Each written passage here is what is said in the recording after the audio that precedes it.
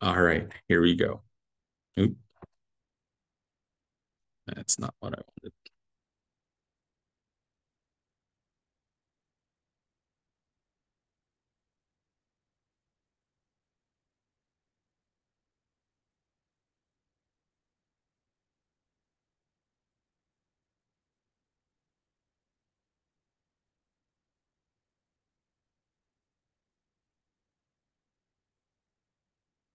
All right. Um, as as far as our um, uh, review from yesterday, we're looking at the patterns of all the messages of the seven churches. We talked about Ephesus yesterday. Today we're going to talk about Smyrna and Pergamum. But we we talked about that there's a pattern on all the churches. Now, not all the churches have all of these seven, but um, the, the there there seems to be a, a, pattern on Jesus addressing the problems of the churches. The first thing is he addresses the angel of the church, and we talked about how uh, each church has its own angel, each church has its own messenger, and it seems to me that there's a hierarchy of people that, that, that God uh, commands to protect uh, and teach a church. The, then the second is the description of Jesus Jesus describes himself to each of the churches. And all of those descriptions are found in chapter one, but they're interspersed in the book in, in the next seven uh, churches. And the biggest reason for that is it seems to me that not one church can actually have all the characteristics of Jesus because it's too big and we're too frail. And so it seems to me that even in the seven churches, Jesus is um, is shown to the world through the different churches. Um, the other thing is there's this affirmation, I know. And this I know is not so much intellectual.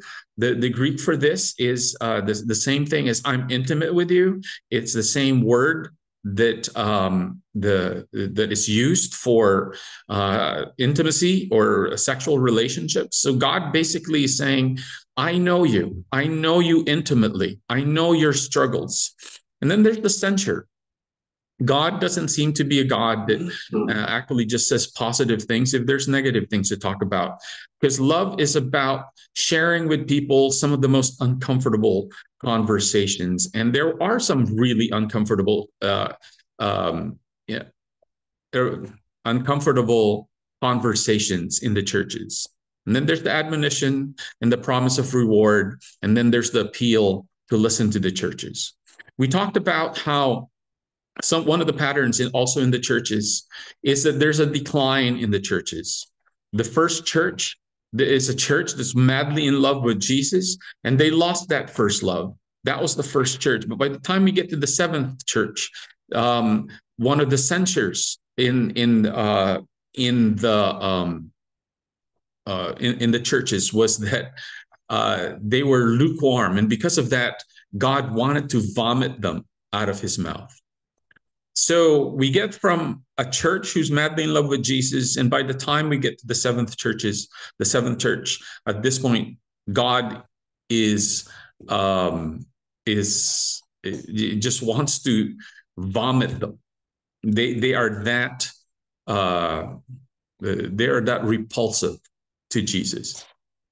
But that doesn't mean that Jesus loves them less because it seems to me that as the churches get worse, the promise or the reward gets more. It seems to me that Jesus is not scared of declining churches. He doesn't panic when his churches get worse, or he doesn't panic when his churches decline. If anything, he gives them more grace. That again is why Jesus is the star of Revelation. We begin to find out that without Jesus, there is no chance for the world.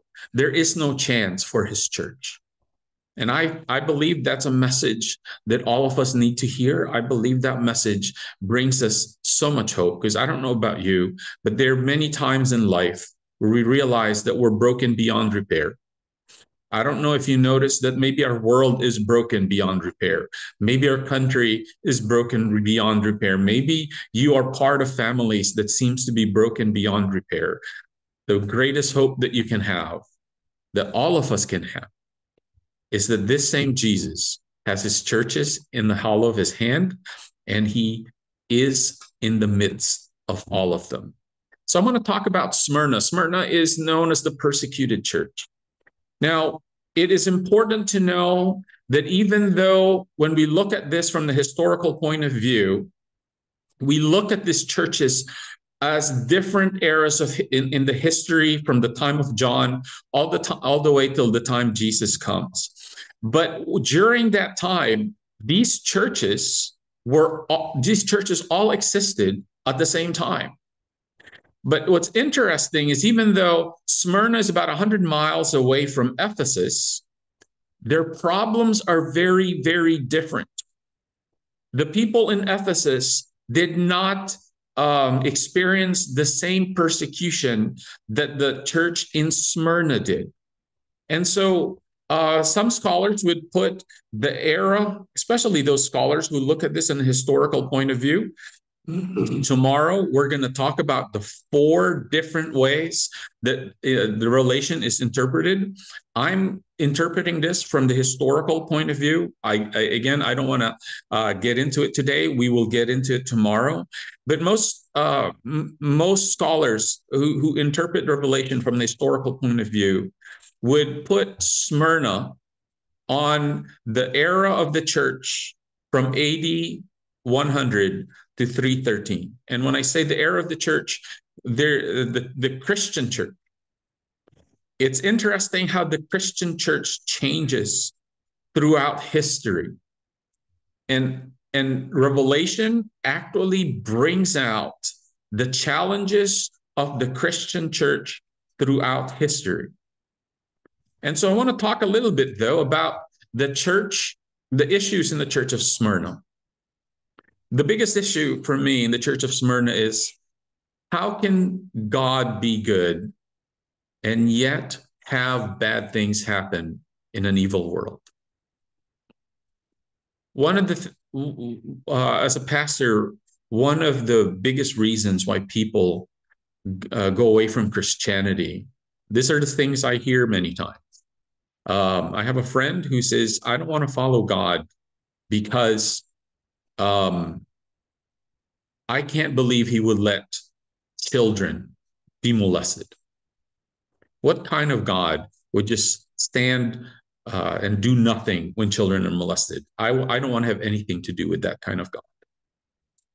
Um, when good things, when bad things happen to good people, it definitely shakes um, our trust in God, or many people's trust in God. And they ask questions like Did God create evil?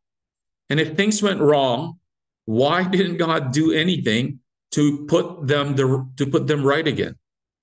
Why do so many good people have problems while so many evil people prosper?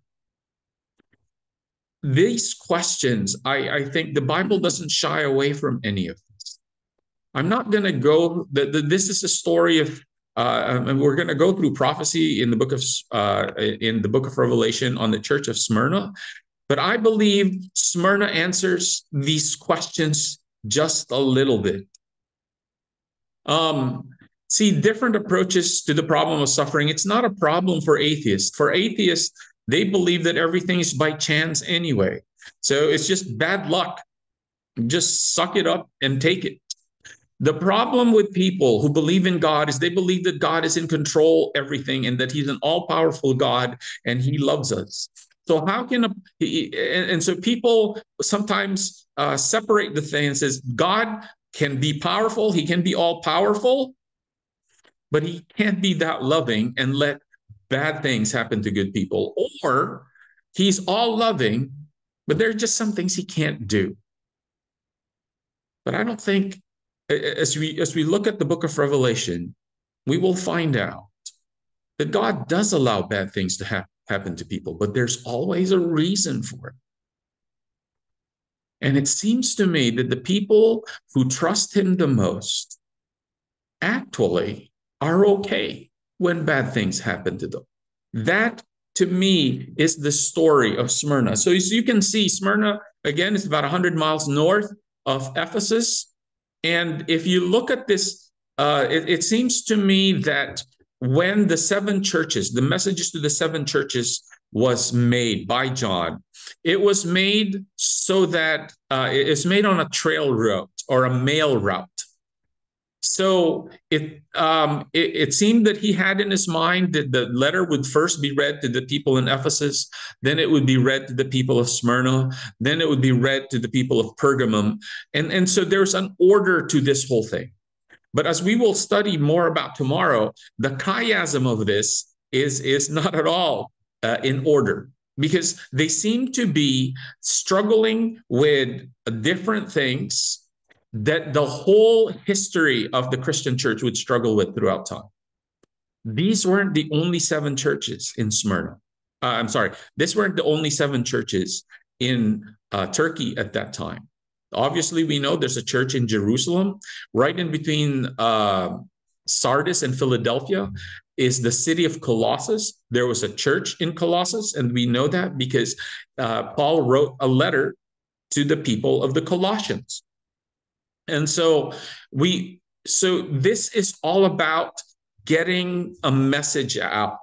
There are more than seven churches, but God chose seven because there is a symbolic uh there there's a, a seven is a symbol of completeness. And so when God wanted to get the, the, the message out to the churches at that time, he also wanted to get, get a message out to the people living at the end time. Because remember, in, in chapter one of Revelation, the reason why um, John or the, the angel spoke to John and gave the message of Revelation is because it says the time is near. The message of the book of Revelation is all for people back then, but it's also for people living at the end time. So let's let's try to figure out this tension, shall we? And again, this is the time when, if you have any questions, please write them down and then uh, we can talk about it tomorrow. But as uh, one of our listeners said, I don't even know what questions to ask because I'm not sure I'm getting anything. And so, like, just come on on Sunday. Let's talk about it on Sunday. And so, if at this point there's a, a lot of confusion in what we're going through, I hope to see you all tomorrow. This is what Smyrna looks like today. It is actually a city block. And we see that uh, the, the ones that they actually um, unearthed or uh, did archaeolog- archaeological digs in is the marketplace. So, this is kind of what the marketplace looks like. Um, and this is what the city of Smyrna looks like. This picture was taken because they took us to a park in um, on a mountain overlooking the city. It's a beautiful city. It is a city that um, that has the second most population, only second to Istanbul, in in all of Turkey. Now, the other thing about Smyrna is that it, this is called the persecuted church everyone in Smyrna actually um, experienced persecution. One of the martyrs there is Polycarp.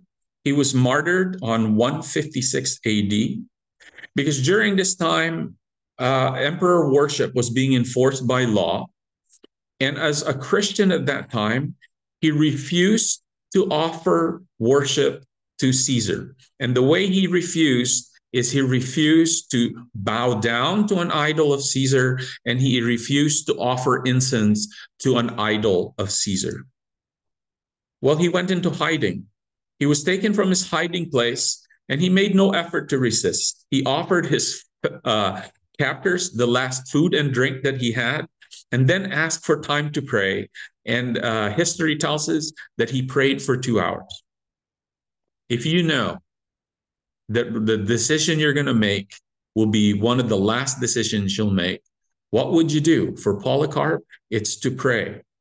And for him, praying, I, I, I don't even know what he asked for.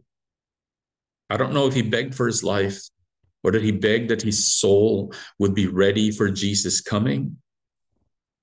And then they, again, right before they were about to burn him at the stake, they asked him, Swear by the genius of Caesar, and we will release you. Offer this incense by the genius of Caesar, and we will release you. And this is what he replied For 86 years I have served this God, and he has never done anything wrong to me. How then can I blaspheme my king who has saved me? And so at that point, they gathered some uh, a pile of wood.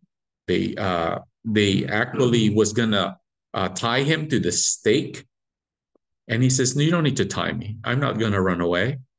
And so he stood there without any uh, w- without anything binding him. And this is the thing: his captors actually respected him.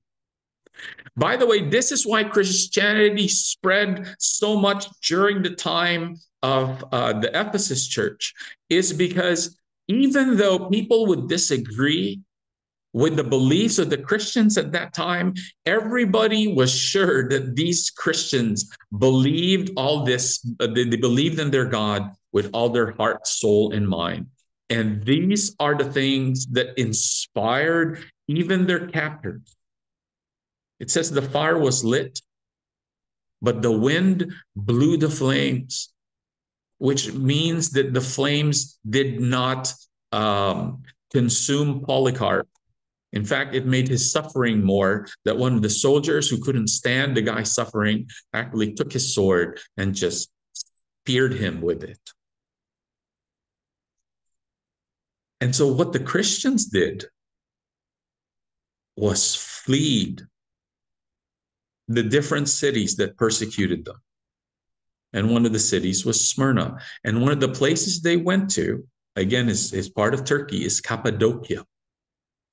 Some of the, the pictures that I'm about to show you are places in Cappadocia. Now, the, the, the, the, the, the very unique thing in Cappadocia is they have these mountains or these little hills that you can actually um, uh, you can like actually make little cave things out of it.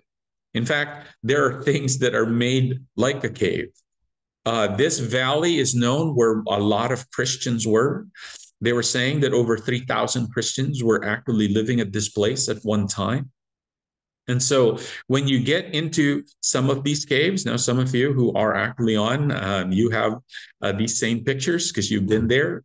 Um, you can actually go inside of those. I, I, don't know. You can actually see somebody over here wanting to take a picture while uh, while they were in one of these openings. When you get inside these openings, you will actually see places where people lived.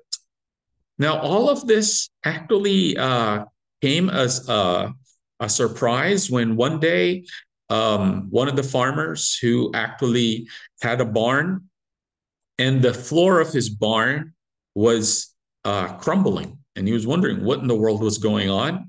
And so he he kind of dug around where the floor was crumbling and all of a sudden he saw mm, uh, just a lot of passageways. And this is how many of these things were discovered. Um, this uh, is um, a place where an, there was an opening and you see stones that they can roll into the opening. So if they can get in they roll the they roll the stones in and nobody can get in or out but when you get into these cave like things you begin to see there are there uh, there's a city inside of it and uh, they this is a picture where there's an altar so they had church services they even had things uh, like mm-hmm. um, baptism, uh, baptismal, um, uh, where, where they had baptism. um, and, and, so th- this is how we know that Christians were living in these places. Now, what happened was a Roman soldier found them out and actually became a spy. And so they told the Roman gov- governor or they, they told the Roman legion where these people are. And basically, uh, all the Christians died when an army came. And even though they couldn't see them, what they did was they built a fire in the entrances of all these places. And so everybody died inside uh, smoke inhalation or just uh, uh, the uh, they just died because they they couldn't breathe anymore because of the fires that were built by the Romans. But that's part of the history uh, that happened from AD 100 all the way to AD 300.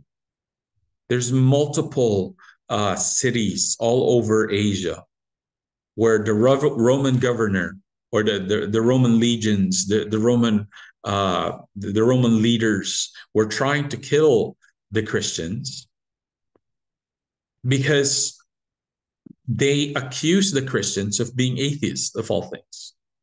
And they accuse the the the um the Christians of being atheists because they only worshiped one God. So in their minds, there's multiple of multiple gods, and if you're just going to concentrate on one God, then you must be an atheist. Uh, this uh, this Smyrna was the first city in Asia to erect a temple, the worship of the Roman emperor. And the other thing too, though, there other uh, the the other people who were persecuting the Christians were the Jews. They incited persecution of Christians. Now, the interesting part was even for some of the Romans during this time, they allowed the Jews to worship because of political reasons. But Christians were looked at with suspicion. And so, if the Romans looked at you with suspicion and the Jews looked at you with suspicion, in a place where the biggest uh, the, the, the biggest religions were paganism by the Romans and uh, the Jew the Jewish religion, then you really had nowhere to hide. In fact, the Jews accused Christians of cannibalism because they they accused them of having to eat and drink the body of Jesus Christ. And so it's in this setting and it's in this backdrop that Jesus describes himself as the first and the last, the one who died and came to life again. Why do you think this would be so important to the people of Smyrna?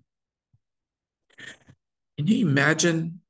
Here you are in this dungy, dark room somewhere out in the mountains of Cappadocia. And then somebody reads you this letter and says, Did you know that John uh, got a message from none other than Jesus.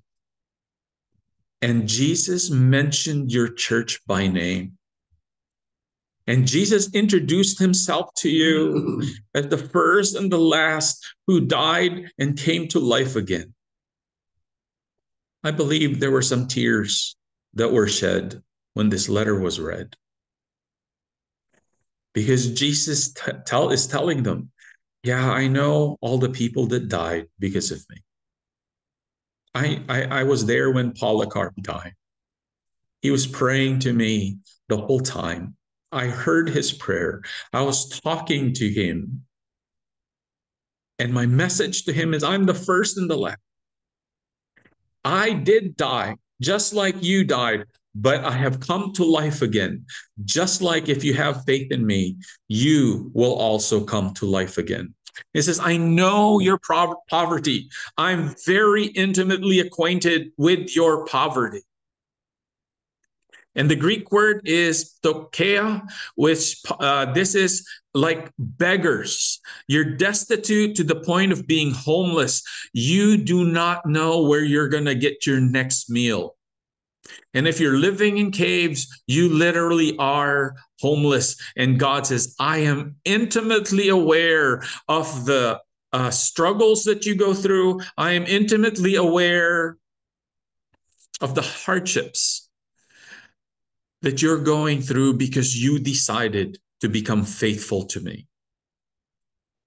The Apostle Paul tells us this in um, 2 Corinthians 8, verse 9. No, 8, verse 9. He says, You know the grace of our Lord Jesus Christ, that though he was rich, yet for your sake he became poor, so that you through his poverty might become rich. See, God understood that literally they were poor, but spiritually they are rich.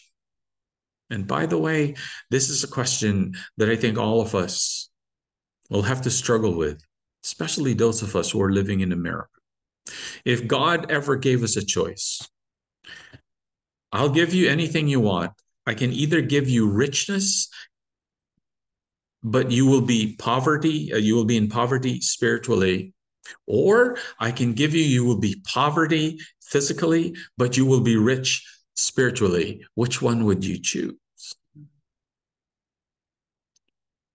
I know for me, I'm ashamed to say it's a tough choice.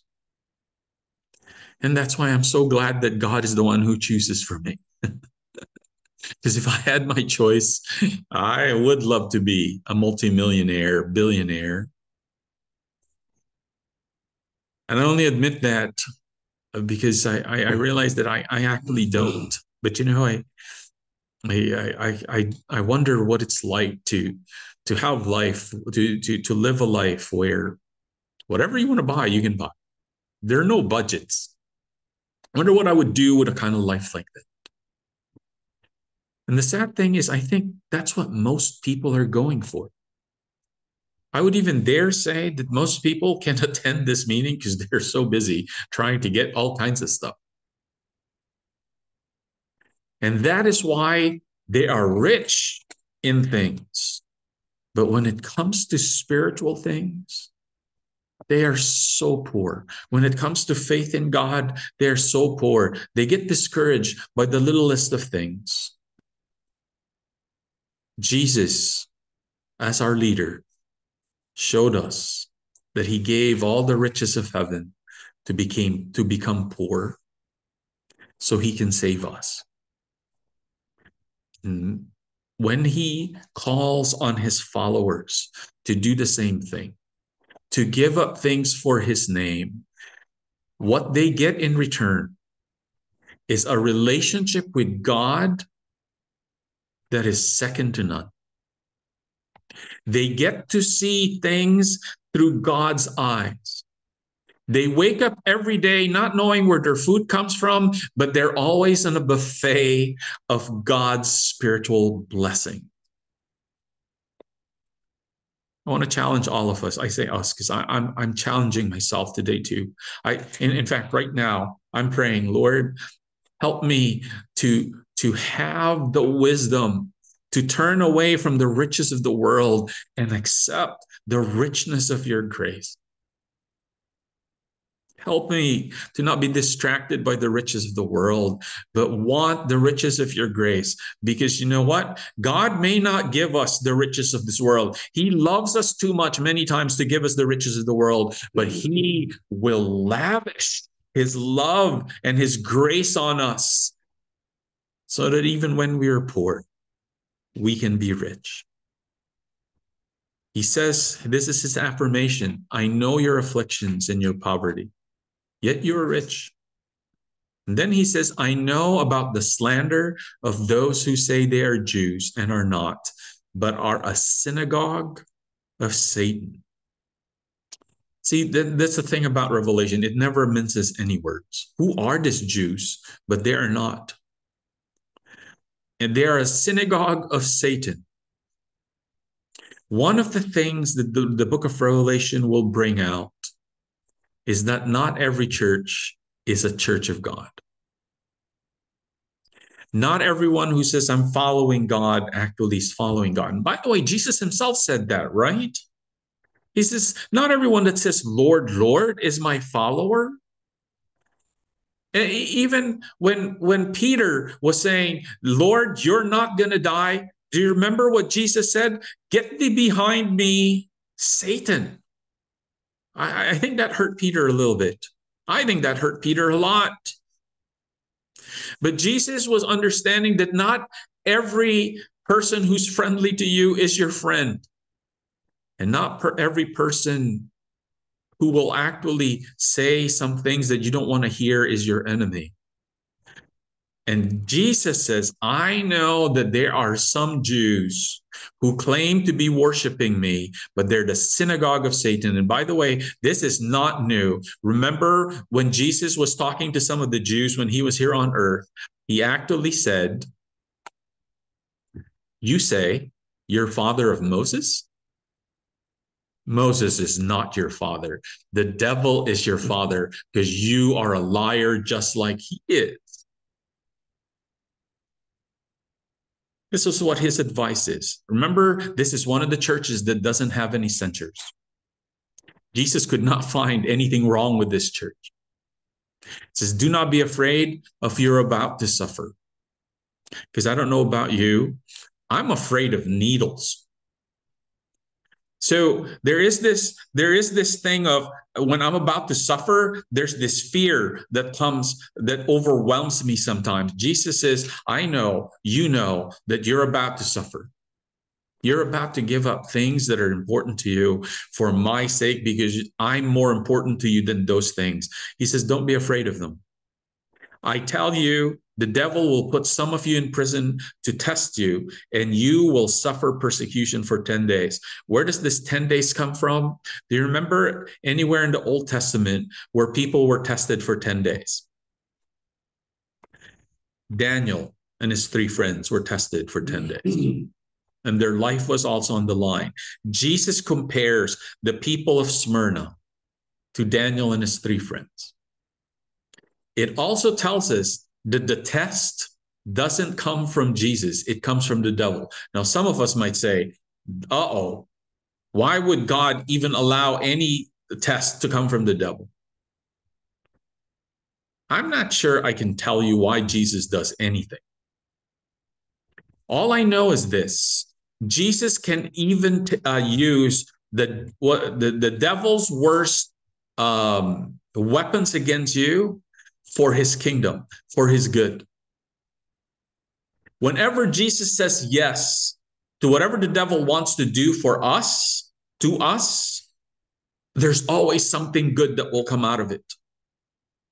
Just like with Daniel, after they passed the test, they became the wisest people in all the land. Could it possibly be that because the people of Smyrna who passed this test became the richest people of all the land. And this is the thing the only way we will find out how rich they are is in heaven. I don't think any of these people, I think people were laughing at them.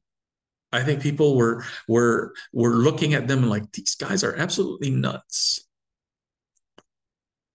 But someday up in heaven, I believe God is going to show us the riches of these people who decided to give up earthly things so they can experience heavenly things. And he says, Be faithful even unto death. And he says, I will give you life as your victor's crown. I will give you a victor's crown. Wait, you're about to experience death. What is this life? Obviously, it's not about life that's breathing. It's about something else so much better.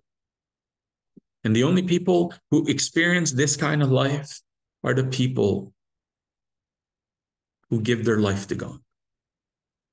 This whole victor's crown, Stephanos, is what they give. Uh, they, they give to people who finish races. And when the person becomes the winner of a race, there is a celebration. The whole city celebrates them and a crown is put on their head. I believe Jesus wanted to tell the Smyrnans and people anywhere in the world who give everything to God I'm going to give you this crown. And yes, the whole city of the New Jerusalem, all my creatures that I created, is going to give you a standing ovation for finishing strong and so we have this again whoever has ears, Let them hear what the Spirit says to the churches. And then we have two rewards. The one who's victorious will not be hurt at all by the second death. And again, the question would be asked what is the second death? The second death is not mentioned until Revelation 20. So I'm going to have to wait to explain this on Revelation 20. But this is the thing anyone who tried to teach us that there is no death, Bible actually teaches us, yeah, there is not only one death, there's also the second death. And it seems to me that this, you will not be hurt by the second death, is a positive thing. It's a reward. And I believe that all the people that read this understood what this second death was all about. They've been taught what the second death was all about. If you stay with us throughout this Revelation seminar, I believe we will actually also learn what this second death is about. And this is the first time you're hearing it. I would like to invite you to come with uh, to come be with us uh, as we go through this lesson. See the origin of suffering. The Bible lays the blame at one person who fell from heaven. It lays the blame only in Satan. When you know when you see pictures like this, man walking on fire. I think this is one of the evidences that there's evil in the world around us. And many times it wows us. This is not normal. This isn't somebody who has bigger calluses on his feet. This isn't somebody who actually has his mind over matter type of a thing. There's a certain power that allows people to do things like this. And this is the thing God gives us sufficient evidence to believe, but never removes all cause for doubt. We really need to have the faith and trust of a child that with all the evil that we see in the world today, we have a God who's in control of the world of evil that somehow in the tension where Satan is evident, there's also a tension that God is evident. And somehow God, in his wisdom, understands that he can give us evidence that he is real, that he is powerful, and that he is loving, but he leaves us an out if we want to.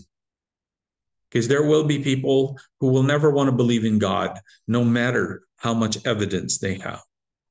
Moving on to the next church, we go move on to the church of Pergamum, the compromising church. This church is from AD 13 to 538. Um, emperor Trajan uh, uh, was the emperor during the, this time, and this is a statue. This is his statue. Uh, Pergamum is probably the most impressive of all the seven churches.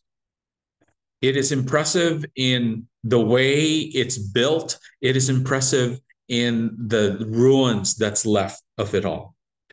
If you visit Pergamum today, you will actually see two parts of Pergamum. I kind of put this two parts in this picture. The one that's the small picture to your left is the, the lower part of Pergamum, and it's overlooking the upper part of Pergamum. On the upper part of Pergamum, you have temples.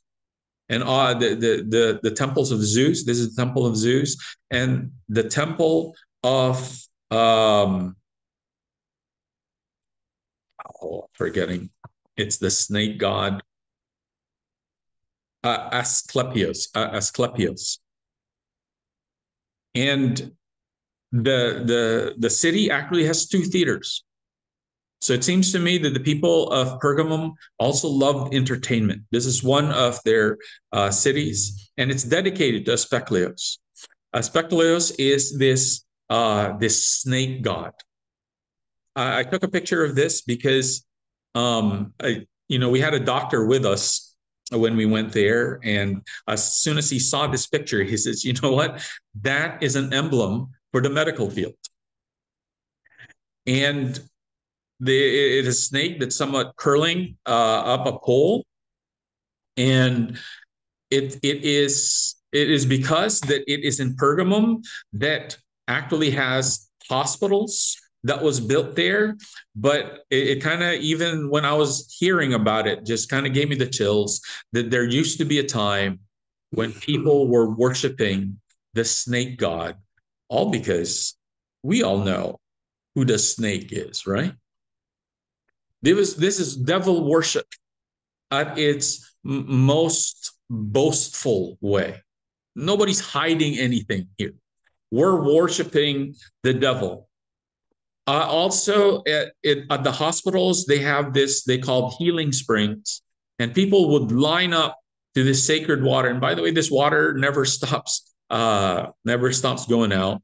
Uh, even when we were there, there were people who decided to, you know, they they needed some healing, and so they were putting this water on their uh, on their hands and then putting it all over their face and all over their bodies. Because even today, there are people who believe that there are sacred qualities, healing qualities in this water. This is what the hospital looks like today. And as you can see, this is the upper city that's overlooking the lower city. In this uh, in this city is the altar of Zeus. And this altar of Zeus actually looks like this. This is in the uh, this is in the museum in Germany. Uh, what we see on on there is just the um, uh, the ruins of it all, and every time people from all over Turkey, people from all over the world during the time of Pergam would come to this city to worship Zeus and Asclepius, the snake god. This is what it would look like today if it was still um, if it was still built, if it wasn't in ruins. Um, this is the lower city.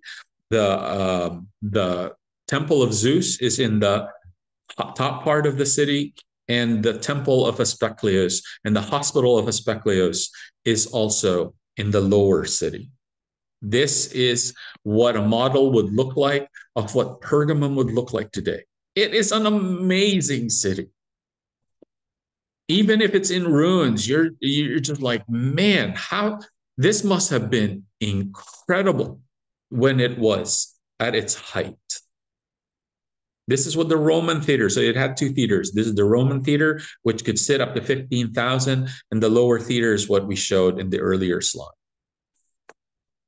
This is one of the mosaics or picture, and so this is some of the one of the pictures that was shown, because this is Constantine um, as he talks about his conversion story, and his conversion story is there's a cross and then the sun god. So as you begin to see, this is where the merging of paganism and Christianity starts coming to play. This is a mosaic where Christ as Helios, the sun god, was ascending to heaven. So now Christ becomes Helios, Christ becomes the sun god. And this was in a mosaic in a church in Pergamum. So even at this point, uh, whether it be later on or during the time Pergamum was was was there, there definitely was a merging of truth and error. Pergamum was a center of intellectual life in Asia. Its library had 200,000 scrolls because this is a time when the start of parchment was being introduced to Asia. Polytheism with multiple temples to many gods was uh, uh, the main thing in this in this city. Asclepius, the god of medicine and healing, and also Zeus. Buildings were made of black stone. They were made of white marble inscriptions attached in some places, and and uh, they were offering incense that say that Caesar is Lord, and they do this annually. Oh, sorry. Oh, I'm sorry. I was hitting the wrong thing. Now, all of this is actually part of the message to the people of Pergamum. That when they read the letter that was that was given to them, they're like, man, this is actually in tune with our culture. So Jesus, look at his description. He comes to them as uh, as a person with a sharp double-edged sword. Now, this description we see in the book of Hebrews. Now, what is the double edged sword in the book of Hebrews? It is the word of God. Now, as, as we saw in the last slide, uh, the, the governor would actually come out with a two edged sword in, in some of their, uh, their parades twice a year. And then he uh, also introduces himself as someone who knows. Again the i know is i'm very intimately i have intimate knowledge of the fact that you live where satan has his throne. He said i i was there uh twice at even even at its ruins. Jesus calls the altar of zeus and the altar of asclepius asclepius as a throne of Satan.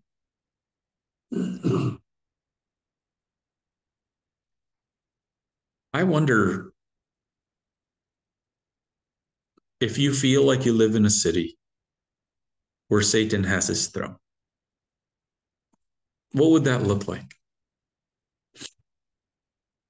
I have some friends who decide to build churches in the middle of gang infested places.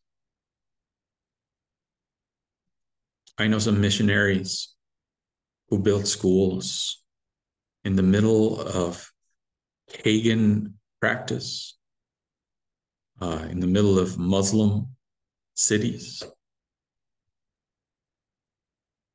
And people were trying to kill them. I believe that it's not only Pergamum who experience who experiences where God's people live where Satan has his throne. And his affirmation was even though you live in these places, you remain true to my name. You did not renounce your faith in me, not even in the days of Antipas. Now, who, who is this Antipas?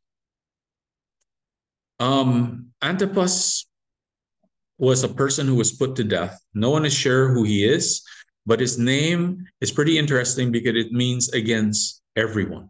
That's what Antipas means. Antipas seems to be a person who, like Polycarp, had to give up his life because he believed in, in God and he did not want to follow the practices of um, uh, the, the practices of uh, the, the pagans. He was a faithful witness who was put to death in your city, he says, where Satan lives. So even in Pergamum, there was persecution. This is the biggest difference. This, this uh, city has one of the biggest critiques or censures First of all, it says, Nevertheless, I have a few things against you.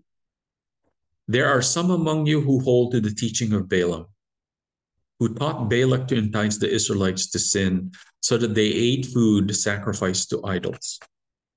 Now, you will see uh, Balaam's story in the book of Numbers. And uh, uh, again, if I can summarize this story, Balak was a king who got scared that the Israelites were near his kingdom. So he decided to hire Balaam because he knew that Balaam was a prophet of the living God. He was a prophet for Israel. And Balaam decided, sure, I'll work for you. And Balak was saying, I'm going to give you all this money if you curse Israel. The problem was Balaam could not curse Israel, no matter how much he tried. It, it, one of the most popular parts of the story was he was riding his donkey to on his way to curse Israel, and the donkey started talking because the angel of the Lord with his sword drawn stopped uh, w- was right in front of the donkey and the donkey refused to to move. And and Balaam got out and just started beating the donkey merciful mercilessly.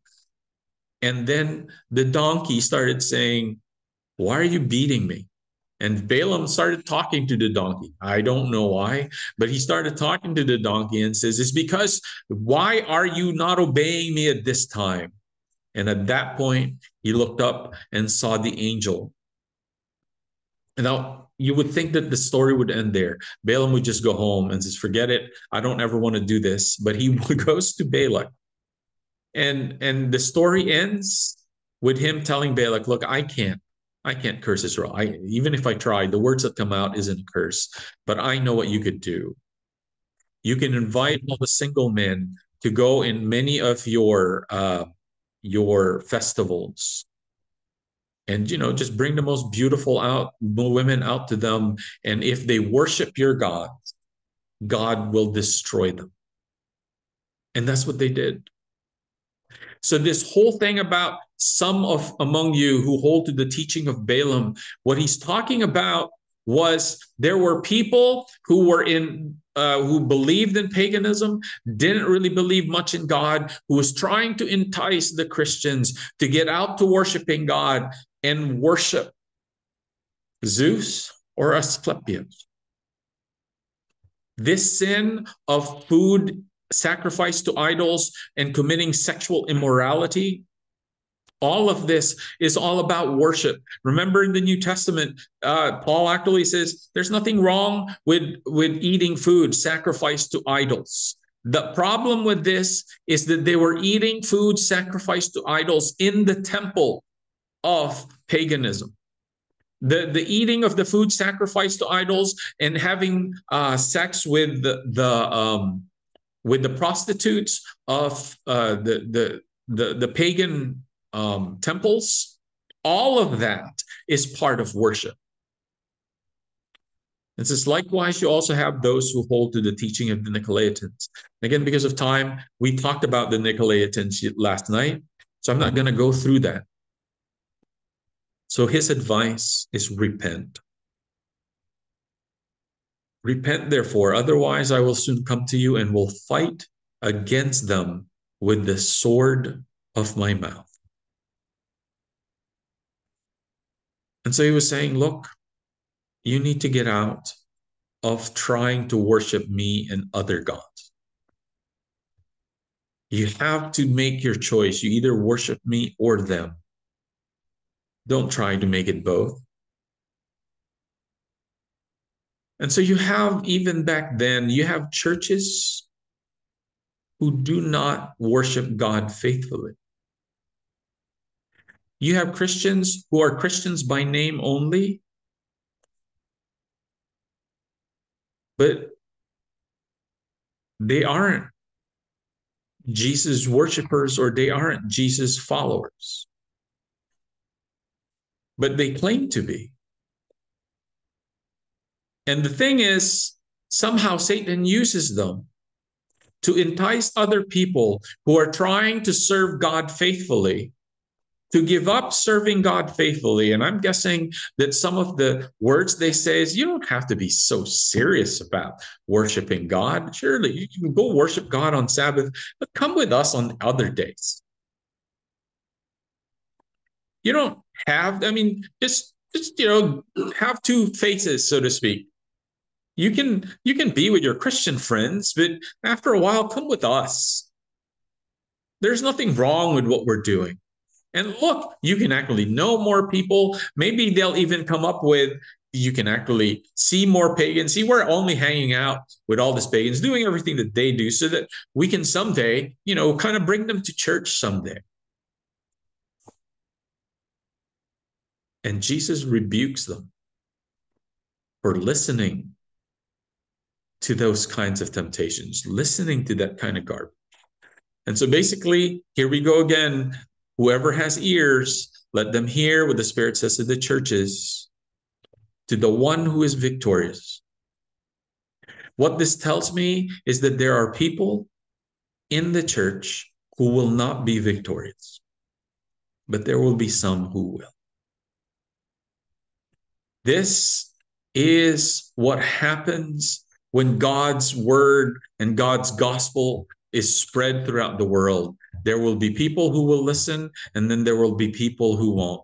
This is what happens even with people who listen. It says, I will do what God tells me to do. There will be some who will be victorious, and then there will be some who don't, who won't be victorious.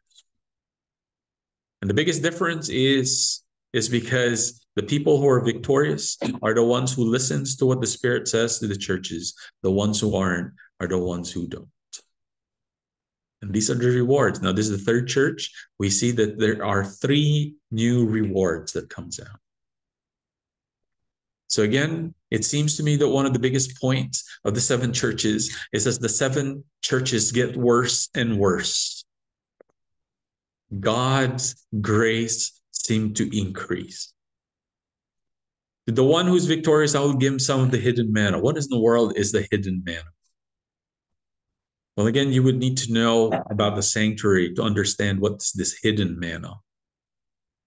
Because this hidden manna is actually in a bowl, and this manna was picked straight from the outside and hid in the Ark of the Covenant. It is a manna that never spoils. It doesn't get changed. It is supernaturally kept in the um, Ark of the Covenant. When God says, I will give some of the hidden manna, what he's saying is, I will give you food directly from the throne. Because that's what the Ark of the Covenant stands for. I will be the one that will give you peace directly from the throne. I will give you spiritually food directly from me. That is what this hidden manna is all about. And is I will give that person a white stone because at that point, I remember the all the temples were made out of black stones or white stones. But the other thing during this time is when there was a court case, when somebody was proven guilty, they get a black stone when somebody was proven, in it, proven innocent, they get a white white stone. And so God says, I'll give you a white stone. I will forgive your sin. And in that white stone, it says, You will have a new name, known only to the one who receives it. Why is it known only to the one who receives it? By the way, back then, names were not just given to some people so that they can, you know, be called something. Names always meant something. There was always a meaning to name. When jesus was given his name he was given the name jesus according to the new testament for he will save people from their sins. Jesus means savior. Every person in the new testament jacob had to have his name changed because his name uh, that was given him as a deceiver. His name was now changed to israel as the father of many nations. Jesus says, all of us who become victorious, we're all going to get a new name. When I get to heaven, I believe my name is not Frendel. My mom and dad gave me a name I love, but somehow God is going to give me a new name that will have the history of my life here on earth of when I gave my life to Him. And all throughout eternity, that's going to be my new name. You will also have a new name, which is going to reflect your faithfulness to God through the many things that come your way. These are all great rewards. And so, as we come to our second church, as we end uh, with the second church, we begin to see that even now we get to see how the churches are starting to struggle with truth. we begin to see how Satan is attacking the church. The first church, he attacks them by having them take for granted the things that they fell in love with. The second church, he tries to kill every single one of them. And the third church, he just decides to have them compromise with the world around them. Do you think all these things aren't happening today? See, I believe that when people read the message of the seven churches, I believe God uses the same things that He gives to the seven churches to give us the same messages that He used to give back then. And if I'm going to summarize the message, keep listening to the Holy Spirit. And there's a great reward for any time you choose me over the world. So today, the question is who will you choose? And I would like to quote one of my favorite quotes from Joshua Choose you this day who you will serve. But as for me and my house, we will serve the Lord. Let's bow our heads. Father, thank you so much for letting us know that Satan's temptations are not new, that we are never alone, that we're a part of a history of faithful people who have gone through so many things where Satan has tried to take away our faith from you. I pray, Lord, that with everything that we learned today, we will also learn that you have also made your stand that you have also used all these things that Satan puts in our way to show us that you're more powerful than him. So help us, Lord, to choose you in everything we do. And I thank you that you have answered our prayer because we ask it all in thy holy and wonderful name. Amen. all right. Thank you, everybody. Thank you. That was wonderful.